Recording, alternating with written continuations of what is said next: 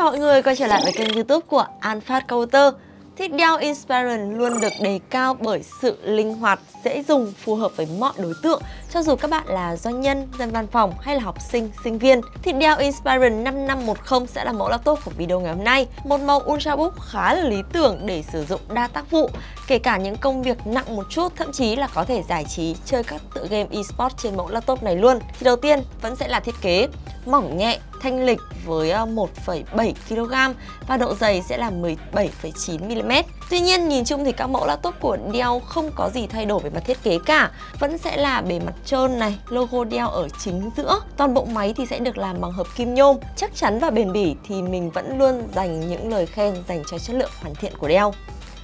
Có một điểm trong phần thiết kế mà mình nghĩ là Dell đã lắng nghe người dùng và thay đổi cho Dell Inspiron 5510 chính là ở phần bản lề thì sẵn sẽ là bản lề dạng nâng, giúp nâng máy lên cho một góc đánh máy tốt và tản nhiệt hiệu quả hơn. Nhưng mà phần bản lề này không còn là phần fit cao su nữa, mà thay vào đó thì đã là chất liệu nhôm liền mạch với phần mặt A của sản phẩm. Điều này thì chắc chắn sẽ đem lại sự sang trọng hơn cùng với thiết kế bo tròn, cũng sẽ mang đến sự nhẹ nhàng, tinh tế cho sản phẩm, dù cho các bạn là nam hay là nữ thì đều có thể sử dụng được. Nếu như là fit cao su trước kia thì sẽ, khi các bạn gập mở quá là nhiều thì sẽ có tình trạng là dính bụi bẩn bẩn. Còn khi thay bằng bề bàn nhôm này rồi thì sẽ tránh được tình trạng bụi bẩn khi mà các bạn gập mở máy quá là nhiều nhá.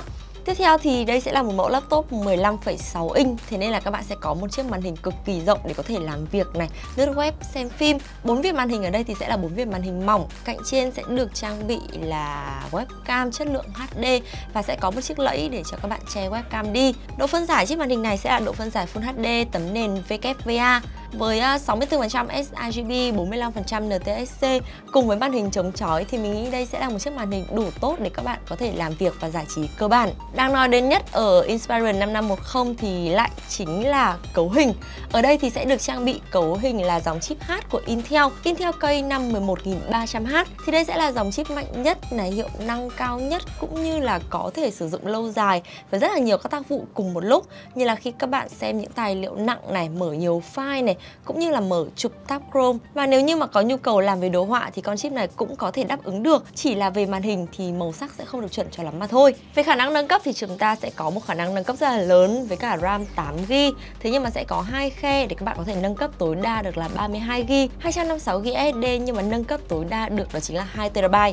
Xuống dưới phần bàn phím thì ờ, về bàn phím thì rất là dễ dàng nhập liệu ở đây với bàn phím số, có trang bị đèn nền này, hành trình phím sâu, nói chung là gõ khá là thoải mái. Về phần touchpad thì ờ, diện tích rộng này, đủ chỗ cho thao tác 2 đến 3 ngón, rất là thuận tiện. Và ở đây thì ờ, xung quanh touchpad thì còn có các đường cắt CNC rất là tỉ mỉ và cực kỳ sang trọng nữa. Bảo mật vân tay một chạm sẽ được tích hợp ở ngay nút nguồn thì điều này mình thấy ngày càng phổ biến và gần như là không thể thiếu để tăng tính bảo mật trên các dòng laptop Ultrabook. Ngoài ra thì còn để các bạn mở máy nhanh hơn nữa nhé. Cuối cùng thì sẽ là cổng kết nối, chúng ta sẽ có là hai cổng USB Type-A, một cổng USB Type-C, một cổng HDMI, một khe thẻ SD, jack audio combo và cổng nguồn. Tổng kết lại thì với một mức giá hơn 22 triệu đồng với ờ, một cấu hình mạnh này, khả năng nâng cấp lớn này, ngôn ngữ thiết kế hiện đại thì Dell Inspiron 5510 xứng đáng sẽ là một sự lựa chọn để đồng hành của các bạn trong một thời gian dài. Theo mình nghĩ thì tối thiểu cũng phải vài năm mà không cần đổi laptop. Thì đường link sản phẩm cũng như là các chương trình khuyến mại khác, mình sẽ để ngay dưới phần mô tả cho mọi người có thể click vào nhé. Và hẹn gặp lại mọi người trong những video sau.